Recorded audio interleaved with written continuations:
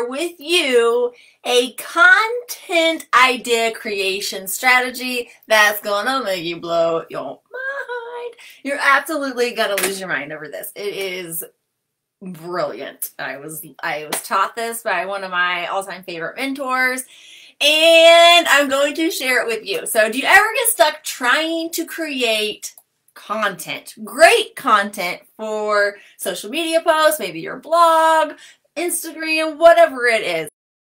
Do you ever get stuck trying to con come up with ideas for your content? Drop me an emoji below if that is you. If you have been stuck, drop an emoji below when it comes to creating content or even the ideas to create content and especially content that is going to attract the right person to your business and to your brand, the people that you want to do business with. So content creation can be one of the toughest skills for business owners and brands that are building a business online especially if you're dyslexic, especially if you're ADD, right? Like we all have these things, but content creation is hard even for the everyday entrepreneur and business owner. It takes time to learn. It takes practice to grow. Um, but I want you to know it's a skill and all skills can be learned. And so I'm going to teach you a super fabulous, freaking mind blowing, out of this world hack so you never run out of ideas for content creation. Okay. So, um, I want to remind you before we dive into this, it is more important for you to put out a quality post than it is quantity. Okay? If you are posting on your profile more than two times a day, you are creating way too much work for yourself and you're probably not getting the results that you want because they're probably not that great of posts. You're just like, I just need to put something else out. Oh, this, let's see if this works. Like, you know, you're seeing what will stick and seeing what will work. And truthfully, if you just, and I know the time and energy that it takes to put out one great quality post, let alone multiple in one day. Okay. And so instead of seeing what sticks, let's really focus and use what I'm going to share with you today on how to come up with some fabulous, amazing content. Okay, I want to invite you to practice this strategy. Practice this strategy by just making one post a day, one quality post a day. Okay? All right. For those of you that do not know me, my name is Liz Medley. I teach weekly tips and tricks on um, building a freaking fabulous business, a cool life, and then be able to show up online with confidence. I also created a badass uh, community called Messy Buns in Business. If you're a part of the MBB, drop hashtag MBB below because I see you all on here. I also see some of the fabulous affiliates with Pretty Social. Good morning, good afternoon, good evening, depending on where you are at in the world. So let's get right into this. You need a pen and paper handy. If you do not have a pen and paper handy, no big deal what I want you to do is I want you to say, if you do not have pen and paper, just say Liz List, L-I-Z, L-I-S-T, and Lulubot is going to send you a Facebook message, and she's going to give you the written version of this live video. If you're watching this on YouTube or you're watching this at lizmedley.com, um, that will not trigger Lulubot. It's only for the Facebook Live viewers. Uh, say Liz List below if you're watching this on YouTube the there is a link in the description of the video that you can click. Okay, so before you post, there's a couple things that you need to think about um, before you put this strategy in place, okay? So grab a pen and paper. Go on. Go grab a pen and paper. And I want you to jot down the answers to these questions, okay? Who are you trying to attract on social media with these posts? Who are you trying to attract on social media with these posts? Okay, now I want you to write down five interests that you have. Five things that you're really into, that you are really into. Maybe it's knitting, maybe it's fishing, maybe it's flower arrangements. Maybe it is traveling, hanging out poolside. Maybe it's socializing with your friends. uh, fashion. The the list is endless, right? Five things that you are really into. All right. I know you probably don't have five things down, but we're going to keep moving, okay? You can come back to this. You can say Liz List, and Lulubot will get you the written version of this, okay? If you're on YouTube, the descript the link is in the description. If you're on lizmedley.com, there you go. Um, who are the kinds of people that you want to surround yourself with? Who are the kinds of people you want to surround yourself with? Are they party animals? Are they into heavy metal music? Are they kind? Do they go to church multiple times through the week? Do you have Bible study? Do you have reading club? Do you all like vodka? Who are the people? Are they loud and obnoxious? Are they driven entrepreneurs? Are they what who are they? Who are the people that you hang out with and you want to surround yourself with? What are what kind of people are they? Okay? Now I want you to think who are the best customers?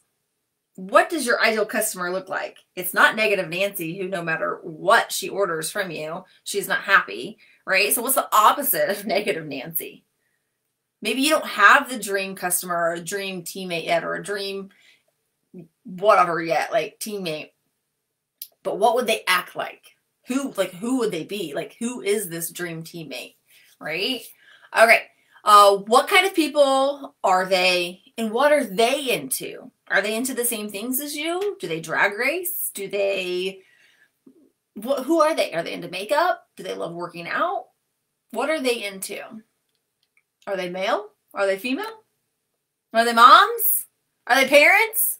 Are they overweight? Are they underweight? Are they ripped? What are they into? What do they like to do? Okay? Here's the thing if you don't know who you're trying to attract, it's really, really, really, really hard to speak to them. And when you're creating content, you need to speak to that person. You need to talk to that one person who your message is for, who you want to bring into your business, who you want as a customer. You have to speak to them, to that person, okay? Um, so when you know who you're talking to, your message will be so much more impactful and you'll get results, okay? So now that you know who the person is that you're wanting to attract, let's kind of move on. Or you now know how to figure out who your message is going to be to. You know who you're wanting to bring into your business, okay? You can come back to this, but let's go on to the seven steps to creating amazing content ideas. This is going to be amazing whether it is for a title of a live video, it is for a blog article, it is for a post, uh, maybe it's for a live training. This, this strategy can be used I hear the dog upstairs like making laps. Um, this strategy can be used for all sorts of um, content creation ideas, okay? So the first thing that you want to do is you want to go to google.com. Don't use the search bar. I always use the search bar uh, to Google stuff. And I realized that when you use google.com versus the search bar, you actually get different results. So you're going to go to google.com and you are going to do this. Okay, so step one, go to google.com, not the search bar. Step number two is you're going to type in the target person that you're looking for. So example, hairstylist, or maybe it's a working mom, maybe it is a bodybuilder, maybe it is overweight, maybe it's an old person, maybe it is a millennial, right? So whatever your target person is, followed by magazine. So Hairstylist Magazine, Bodybuilder Magazine, Mom Magazine, Stay at Home Mom Magazine, uh, Millennial Magazine. Okay, so whatever you search for, you're going to add magazine to the end of the search. Okay. Crazy. It's getting real crazy, guys. It's getting crazy. And then you click search. Step number three, click search. When the results come up, you guys liking this? you excited? I'm so excited because this is so good. Yeah, this is some good shit. You might want to just go ahead and share this with some people because I'm about to drop it like it's hot. You click search. The results come up. You click the image tab. Now you see a bunch of images, okay? In the image area, you're going to see rows and rows of magazine covers, okay? Of what you searched for.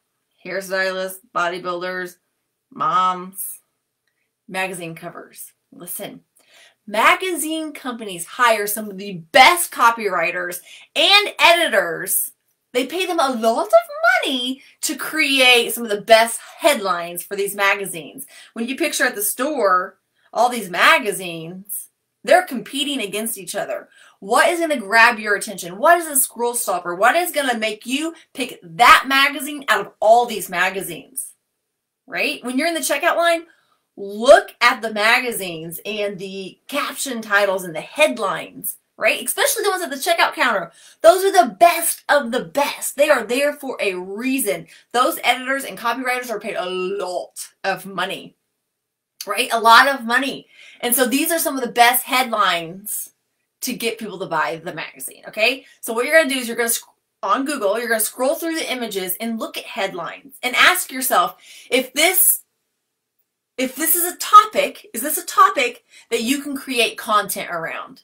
Is this a topic that you can create a post around that has something to do with what you're offering, that has something to do with who you're trying to attract to your business? This can be, you can use these headlines for a title of a live. You can use these headlines for ideas, for a post, for a blog, for an email, whatever you are trying to create content for. It's incredible. It's absolutely incredible. And you'll start to find um, so many ideas, so many headlines that spark so many ideas that you're not going to run out of content ideas, okay? Uh, so step number six is do some do some research on that topic. Do some research. You're like, okay, nine belly fat busters that you didn't know existed. So then you can use that nine belly butt. I should have totally came up with a better idea, but belly belly fat busters that you didn't know existed, and you can research that topic: how to lose body fat, or how to use belly fat, or you know exercises and food tips, and you can research that and come up with some value, right? Research the headline, then the topic that you chose. Do some research, come up with a value, and bam! Step number seven: post it Step number seven, go live about it. Step number seven, blog about it. Step number seven, put it in an email. Step number seven, post it. Post it. All right. Content strategy is hard. It takes time, but this is going to give you a big advantage over everybody else. A big advantage. It's going to cause people to slow down. It's going to cause people to stop and check out what you're doing. It's going to speak specifically to that person that you're trying to attract. All right. So not only are you going to come up with loads of ideas, you're going to get so much interaction and so many more eyes on your content. You down with this? You down with it? Listen, I invite you to try it out. If you are posting more than one time a day, I want you to try this out and put out one quality post a day. It's not about quantity. That's too hard. And then your posts are competing against each other or neither of them are getting traction. I want you to post one quality post a day. Try it. Try it. See what happens. See what happens to your engagement. See what happens to your following. See what happens to your sales and your bank account.